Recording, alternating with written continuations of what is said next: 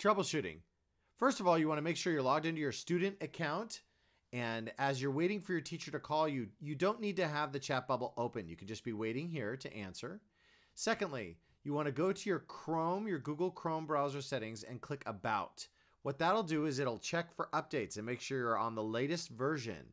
Last of all, you want to make sure that your microphone and your camera are actually enabled. And that's under your site settings under privacy and security for Google. So go to the Chrome, site settings, privacy and security. You'll notice under site settings, there's a microphone and camera. As you click on those, you'll notice it says ask before accessing. You could turn it on or off.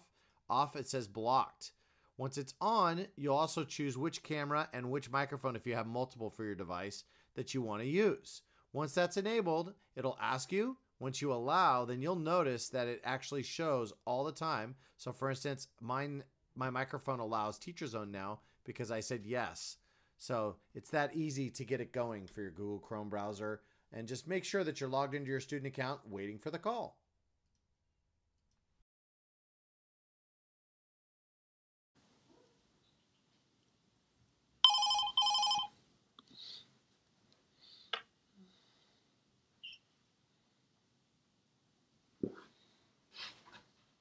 Hey, Dax. Hey, how are you doing?